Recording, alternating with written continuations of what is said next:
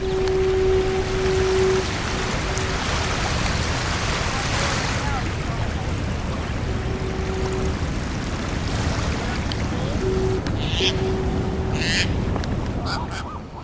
today I'm going to determine why I love this place so much.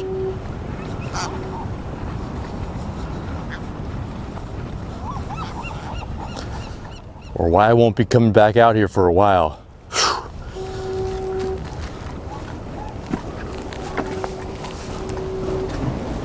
Butter stuffed, crab filled fish fillet sandwich. That's the plan today. The first thing I'm going to try to do is catch a fish. Now, obviously, I'm going to be fishing for crab and fish, but please give me some clarification. So I know you can use one rod going for rockfish, right? And if you have two rods out, you're not allowed to keep rockfish. So does that mean I cannot have one crab rod out while fishing for rockfish, catch a rockfish and keep it? Is that the rule? Or is it that I cannot have two rods out fishing for rockfish and keeping one? Is it just one rod per species? Give me some clarification for that because I want to have one crab rod out right now while I'm fishing for rockfish too. I mean, trying to utilize my time. There's no way I'm going to catch a rockfish with a crab snare. So this is what I'm using to start out for rockfish. I'm using a light color because the water is a little bit murky and I'm trying to get that good visibility because these fish, they fish by sight most of the time. Now when you're walking down here, especially like right now, high tide just passed, it's low tide. All of these rocks are so, so slippery. If you can try to find a rock that isn't smooth, but it's instead either jagged or covered with barnacles or mussels, those are the safest rocks to stay on. I see a couple right down there, but uh, you know, I'll just stay right here for a little while. Lightweight. Ooh, casting almost slipping letting it sink. You want to look for the dry rocks too, of course. It's rocky. I like this the feel of it.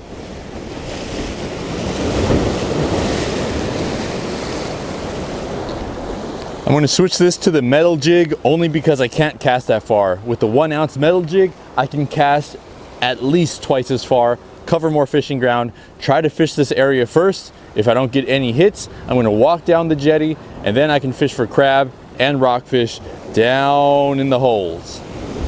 Alrighty, metal jig out here for a few casts. Gonna find a non-slippery spot so I can balance. All right, that looks pretty good. See what we can find.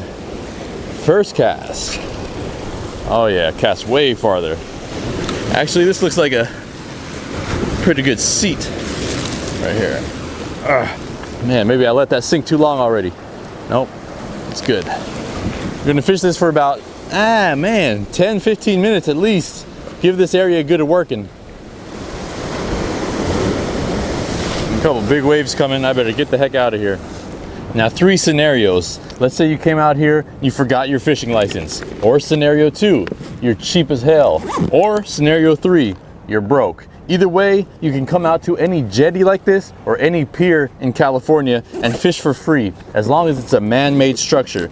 Now, the only thing, if you were to fish from shore, from the, the sand, that rule does not apply. You better have your fishing license. So you come out here with your family, just want to give fishing a try, do it for free on a jetty. Do it for free on a pier.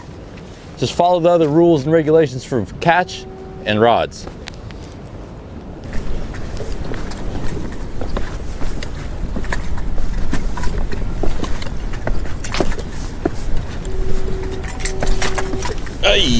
Well, I made my way about halfway to the end of the jetty. You see that thing way out there? That's the foghorn. It blows a horn about every three to four, maybe five seconds. But I'm trying to spare your ears because I want to go fish out there. It's deeper out there. There's probably more fish out there, but I know it's really, really loud. So I'm going to try here, see if I can get the fish, see if I can get the crab. If I can't, well, sorry for your ears. I apologize, but I'm going to be right under that foghorn. Now I know I've mentioned this in the past, I've got these swivels for sale at fishermanslife.net, but just yesterday I added ball bearing swivels and it's free shipping for orders over $50. So if you want to order some jigs, a t-shirt, a hat, maybe some more swivels, check it out, fishermanslife.net, get some free shipping and get some high quality, affordable products. Got my squid. Use a little piece there, boom. And got my herring. I think I could squeeze this whole herring. Actually, I might have to cut off the tail. We'll use this, we'll use half herring, half squid. All right, half a herring, half a squid. Get that good scent in there. Close her up. So let's count them. One, two, three, four, five loops on this crab snare. Missing one. This is the crab snare that I found when I was low tide foraging. Crab slayer snare. Going out. Hiya! Hopefully it's sandy there. It doesn't matter if we catch Dungeness crab or rock crab. A crab is a crab today, and that's what we need.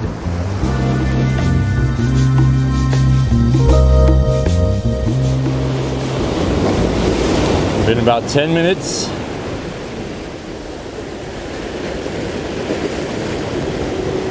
Let's see what we got.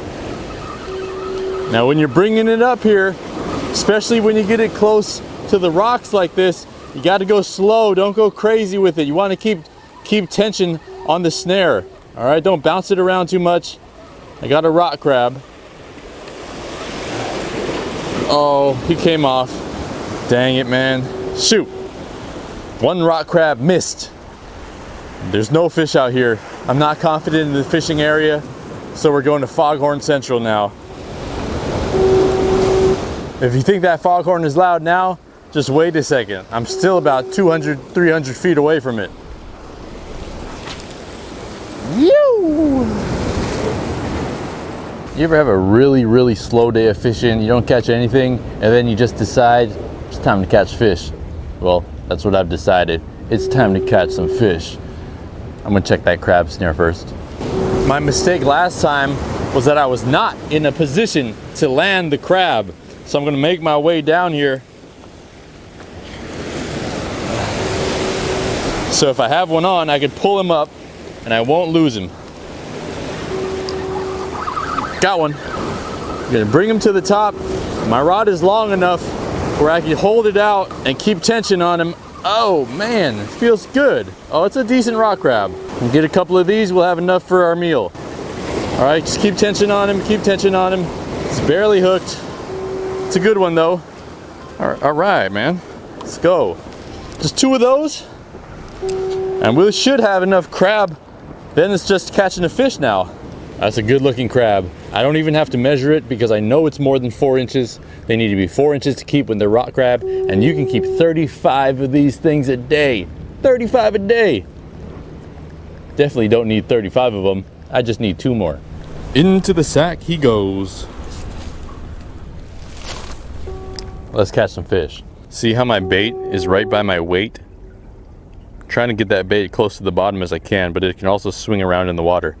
Now the goal right now is to catch a 8 to 10 inch grass rockfish, maybe a black, maybe a blue, not quite sure yet. A lot of small fish in here, but there could be some big ones mixed in the bunch. All right, nothing there. We're gonna keep moving. It's kind of like poke poling with a fishing line. There's a fish. Oh, that might be a crab. Feels heavy. It's not fighting. Feels heavy though.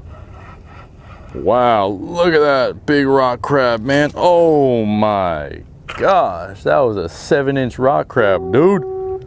Damn. Now, technically, you're not supposed to keep rock crab from hook and line. So, you know, I'm going to turn the camera off. No, I'm just kidding. I'm just kidding. Damn, that was a nice one. That's what we want. Actually, that reminds me, I should go check the crabs, crab snare.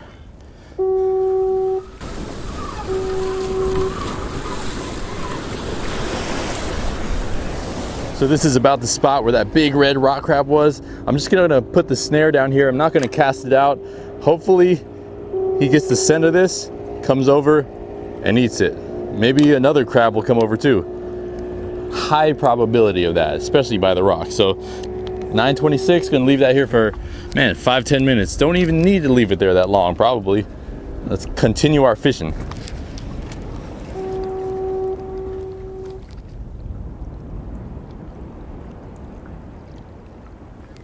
Got a fish. Oh, it's a decent one too. Oh, he came off. It's a decent fish though. Right over here.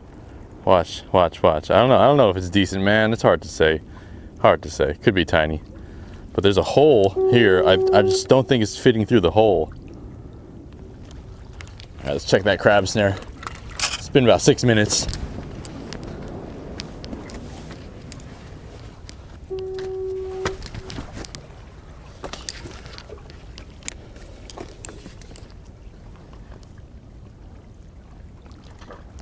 Got one. Oh yeah. Nice fat rock crab. Nice. Same as the first one. Big claws on her. Heck yeah. I always call him a her, but it's a him. That's one. Damn, I was hoping for that big red one. But this'll do. I just need one more crab. And I'm good to go, man. Look at that thing. That's a beast. That's a beast. Ooh, he's trying to grab me. He's trying to grab me. Oh, man. So look how big his claws are. But look how small his body is. So we should measure this one. This one needs to be four inches long.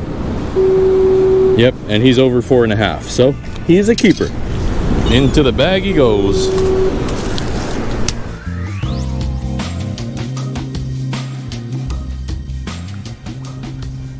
Fish on. Fish on, baby. That's what I'm talking about. That's what we're looking for today. No, it's not at all. This is way too small. If we could get one 10 times the size, that would be good. And they're out here. There are some some some some rockfish out here like that, but this guy is way too small. Pretty cool though. Any crab here? Yep. Ooh, nice one. Feels like a red rock crab, maybe.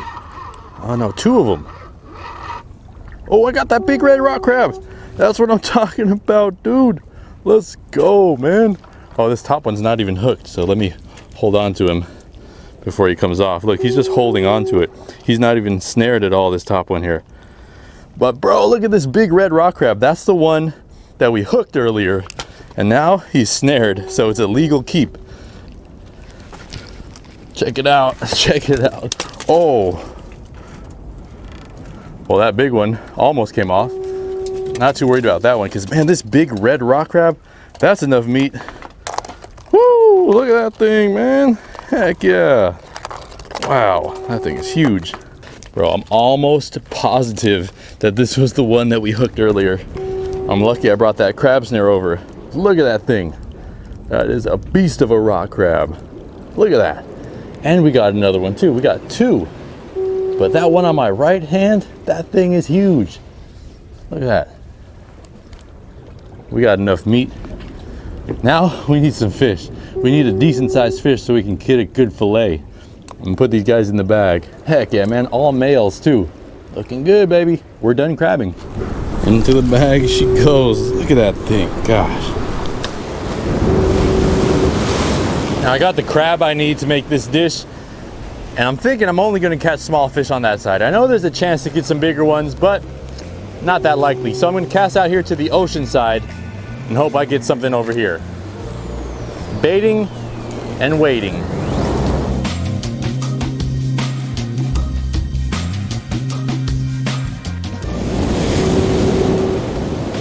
You know what? I think there's just too much current over here. I'm gonna walk to the end of the jetty.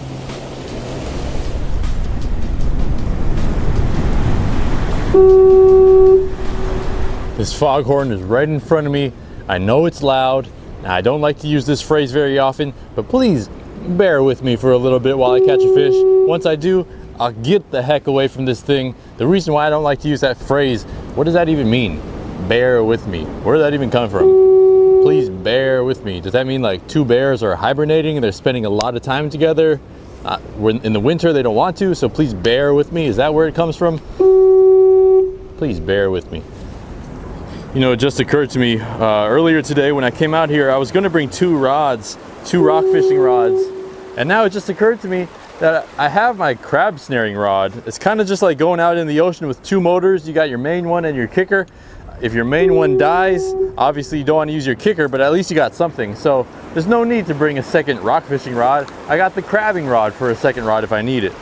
Can you guys see where it's murky water here and it turns super clear?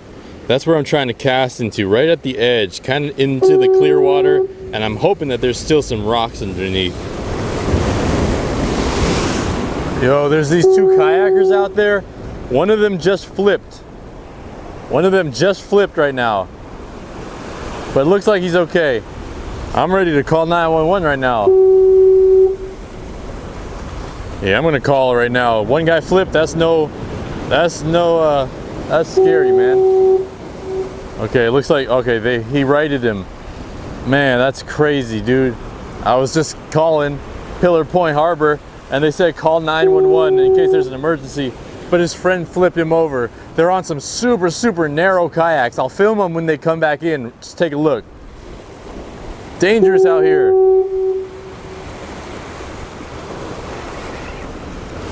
I got a fish and it feels like a good one. Feels like a big cabezon or something. What is it, dude? What is it? What is it? What is it? Oh, it's a crab, man. A big ass crab. Damn.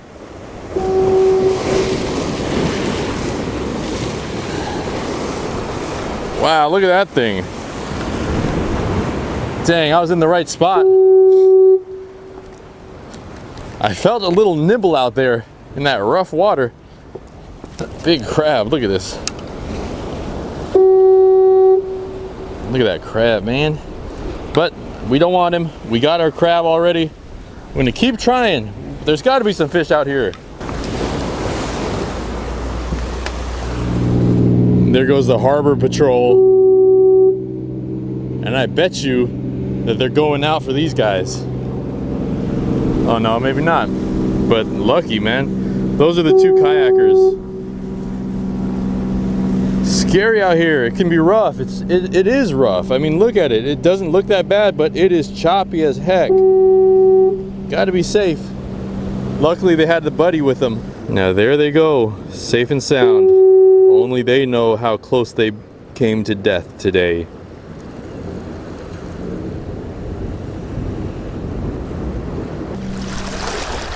Oh, big fish, big fish, big fish on, big fish on. He's in a hole though. Oh man, he's a big fish. Oh, get out of here. Oh, it's big, dude. What is this thing? It's big. It's an eel or it's a lingcod or something huge. It's huge. Oh, what is it? Oh, what is it? What is it? Oh, what is this thing? Oh my gosh, that's a world record eel, dude. Holy moly. Look at that. Jeez, that's an eel. That's a huge eel. Look at that thing. Look at that. That's crazy. Look at that eel, man. What the hell? Bro, that's insane. All right, I got to get him in the bag or something quick, or else he's to squirm out for sure. Yo, what in the heck have you ever in your life seen an eel this big? Look at this thing. You know what? I mean, I wanted to do a catch and cook, but oh my gosh, this thing is so big. It's rolling around. Dude, calm down, man. Calm down. Calm down. Calm down. Oh my gosh. All right, look, I'm gonna lay him on his side. I wanna get a measure of him. I wanna see how long he is, just for my own record. So, let's see, zero, 26 inches. 26 inches long, that's insane. A 26 inch long eel. Let me weigh him if he'll stay still. I don't know if he will stay still or not, but didn't even know they got this big. Oh man, I don't think I'm gonna be able to weigh him. I mean, this is not even a wolf eel. This is a monkey face prickleback eel. This is insane. Stay still, dude. Stay still, man. trying to do you right, bro. Oh my god, he's got teeth too. I don't want to get chomped on. I don't have any pliers with me. Gosh, I mean, I wanted to do a catch and cook, but is it worth me doing a catch and cook video just to kill this old, old, old eel? I mean, I don't think so. I think I'm gonna release him. I wanna get a weight on him.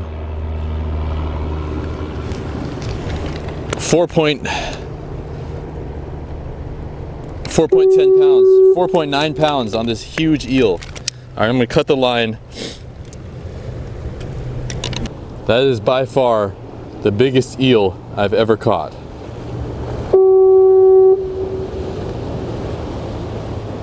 I really think it's the right thing to do to let him go. The thing is huge. I wouldn't let him go. Let's put him in the water right there. Let him regain his, his, his energy.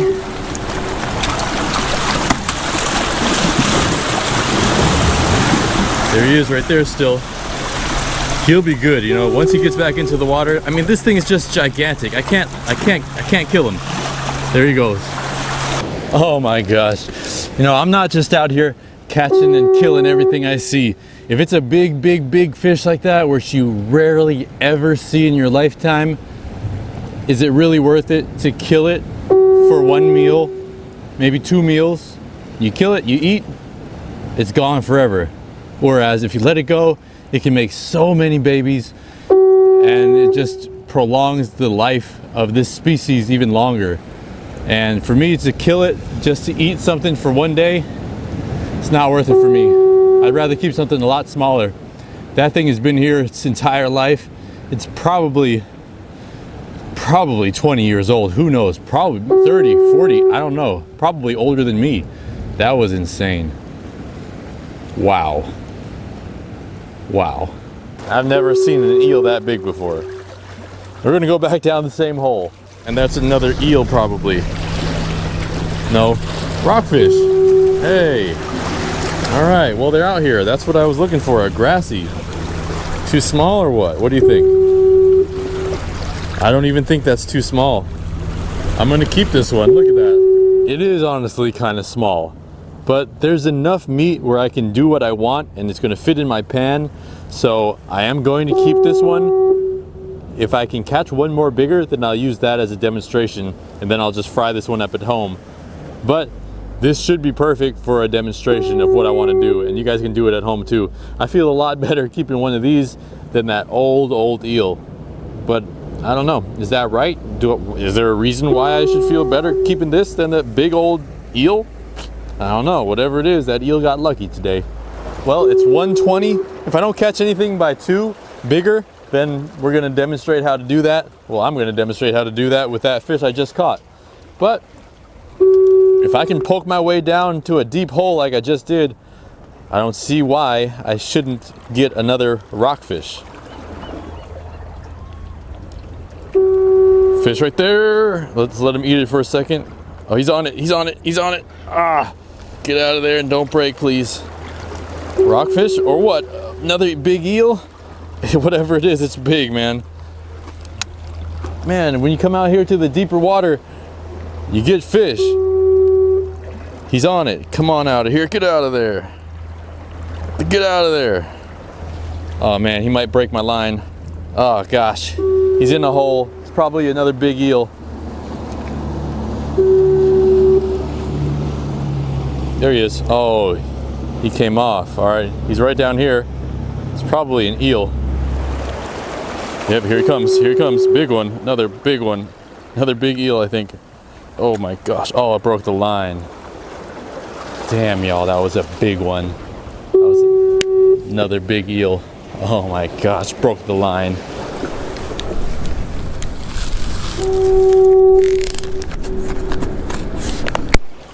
Well, just like I promised, I moved away.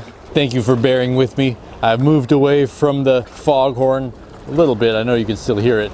Time to prep those crabs. First thing I'm gonna do, get some water steaming, maybe boiling, and then put it on the fire. And then I'm gonna show you what I'm gonna do with the crabs just one second. Just gonna grab a little bit of this ocean water. Boom, yep, right there. Just a little bit, we don't need too much. And I'm gonna put it on the burner. Not that stable, but that's all right. All right, that's gonna heat. And I've got those crabs. I've got four, five crabs, I think. Let's see how many we got. We got four. We got four. They're still alive and kicking. Now you see this crab here? It's a good size one. But what I'm gonna do, since the fish I have is small, I'm gonna rip one claw off of each crab.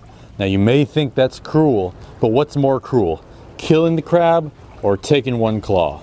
Easy answer. And this one, his claw is barely even functional. All right, one crab, claw, off. Crab, back in the water. Now one of these claws and the other one is more than enough to fill that, that fish up. So I'm gonna rip off one of these claws.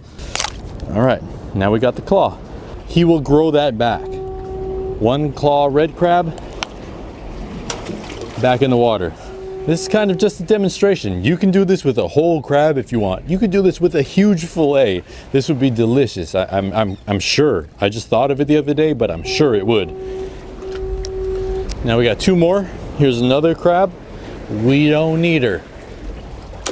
Actually, we don't need him, I should say. Still alive, kicking. We don't need him either. Their lucky day. Now we have this little rockfish here. I'm gonna scale it, fillet it, and get the meat off.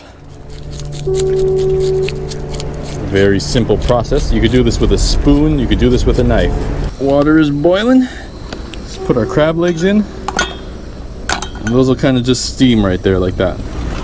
If you're ever looking for a high-end quality gift, I don't think you can go wrong with the knife from Adrian Etheridge.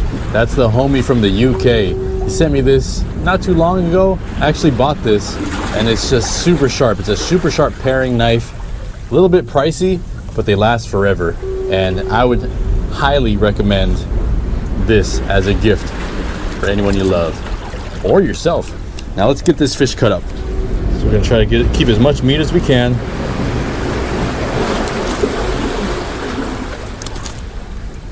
Meat looks great. Cut right there, cut along the spine. It is imperative that I get every piece of meat because this fish is so small, so I'm taking my time with it.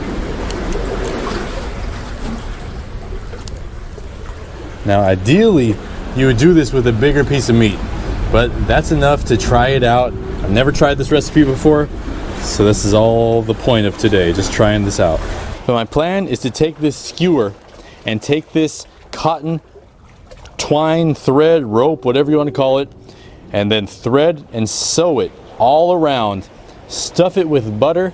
Once that crab is done, stuff it with crab, have some avocado on the side, and have a little fish sandwich just like that. So let's do that first. We're gonna poke a hole through the skin because the skin will keep it all together. Take a look at that. We got our two fillets stitched together, completely stitched together. When I pull it tight, it's not going out, not going away. Now I did this the, the hardest way you could possibly do. I mean, look at the thickness of this rope. This is rope, this is not thread. So if I actually had a thread and needle, I could just stitch it back and forth through the skin 50 times if I wanted to. I only did it about six times because it was so hard to get it through the skin. But this is the idea. I'm about to cook it now, and I'm still glad I didn't keep that eel. This is just the prototype. Prototype stitched fish. Crab is done. I'm gonna crack it, stuff this with some butter, fry it in the pan on low heat, Wow, it's gonna be delicious. Now let's crack these things.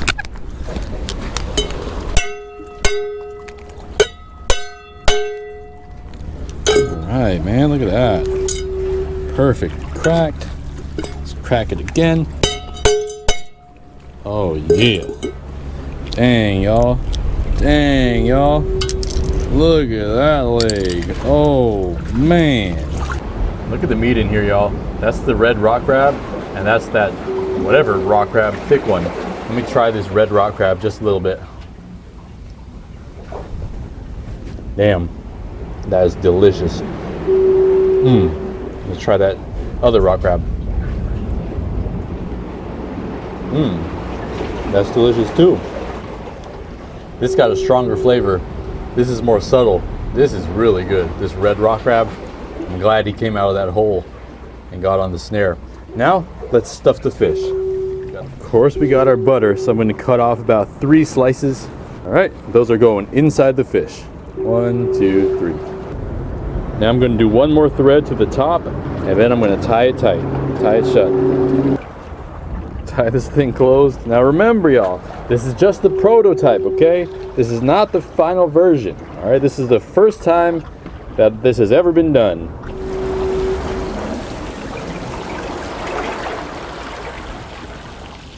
Okay, I already know what I would do differently next time. Next time, I would use thinner thread and I would score the fish's skin and also take the pin bones out. That way when it splits, it'll split on the scores and on the edges, it will still stay together, in theory. This side stayed together. Wonder why the other one broke. All right, let's see how this turned out. This is cool enough to finally eat. Got the crab inside, cooked fully, only butter, no seasoning. Let's take a bite. Dang, I got some avocado on the side. I'm gonna have that with this. Ooh, that's delicious with the crab too. I'll be out tomorrow kayak fishing with Nick Fish. Thinking about getting another, another kayak for myself. Think it's a good idea? I think so. I'm gonna finish this up. Thank you guys for watching. I'll see you in a couple days.